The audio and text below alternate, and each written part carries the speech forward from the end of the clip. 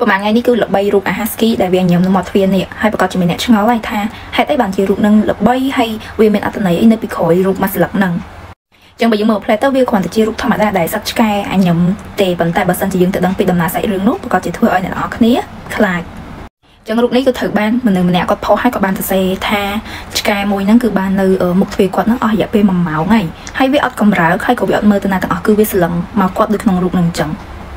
ហើយគាត់ក៏មានចំឆ្កែដែរដែលយើងដឹងស្រាប់ហើយឆ្កែជាធម្មតាវាតែងតែព្រុសហើយពេលឃើញអ្វីប្លែកដូចឆ្កែគ្នាឯងឬក៏មនុស្សអីចឹងទៅប៉ុន្តែគាត់ថាឆ្កែគាត់គឺបានរត់ពួននៅក្នុងបន្ទប់នៅពេលដែលគាត់ព្យាយាមយកឆ្កែគាត់ចេញមកក្រៅ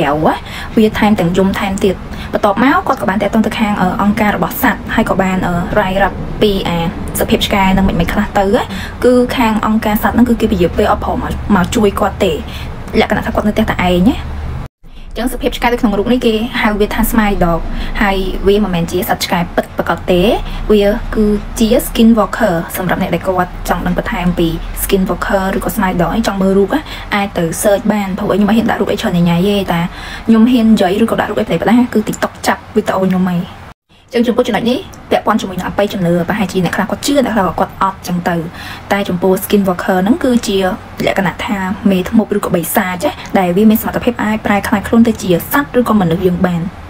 ហើយពួក skin walker ហ្នឹងក៏មានសមត្ថភាពក្នុងការអានពីគំនិតឬក៏ការគិតរបស់យើងបានណាហើយវានឹងអាចមកសម្រាប់យើងបានថែមទៀតហើយចំពោះពពួកអស់ហ្នឹងគេនិយាយថាវាក៏ពិបាកក្នុងការសម្រាប់ដែរមានន័យថាវាមានសមត្ថភាពខ្លាំង ចឹងមកដល់ចំណុចនេះប្រហែលជាអ្នកខ្លះគាត់អត់ជឿឬក៏គាត់គិតថាវាមិនអាចកើតឡើងណាតែខ្ញុំចង់និយាយថាអ្វីដែលខ្ញុំអត់ដែរបានឃើញមិនមែនមានន័យថាវាអត់មានទេឧទាហរណ៍ថាដូចជាខ្មោចចោះអ្នកខ្លះគាត់និយាយថាសម័យឥឡូវហើយ2023អីនេះជឿមានខ្មោចមានអីទៀតប្រទេសគេផ្សេងអាមេរិកអីគេអត់ជឿទេតែខ្ញុំចង់និយាយចេះអាមេរិកគឺគេជឿរឿងខ្មោចគេអភិវឌ្ឍបានឆ្ងាយពីយើងខ្លាំងមែនទែនប៉ុន្តែគឺគេមានជំនឿលើខ្មោចទេខ្ញុំឧទាហរណ៍ដូចជារឿង Annabelle អ តុកតាខ្មោចហ្នឹងគឺជារឿងប៉ិតដែលគេផលិតមកជាកុនដែលយើងមើលហ្នឹងហើយដូចជាប្តីប្រពន្ធដែលចាប់ខ្មោចនៅក្នុងរឿង Lauren ហ្នឹងក៏មានប៉ិតមែនដែរហើយក៏នៅមានរឿងដែលពាក់ព័ន្ធនឹងអបិយជំនឿជាច្រើនទៀតនៅខាងអាមេរិកដែររហូតដល់ឥឡូវហ្នឹងក៏គេអត់ទាន់អាចបកស្រាយបានថាវាមិនដែរអញ្ចឹងអ្នកខ្លះគាត់ជឿលើវិទ្យាសាស្ត្រអីចឹងហើយតែខ្ញុំចង់បញ្ជាក់ថាជាខាងអ្នកវិទ្យាសាស្ត្រហ្នឹងក៏យើងអាចទុកចិត្តបាន100%ដែររឿងខ្លះគេដឹងគេប្រាប់យើងទេគឺគេលាក់យើង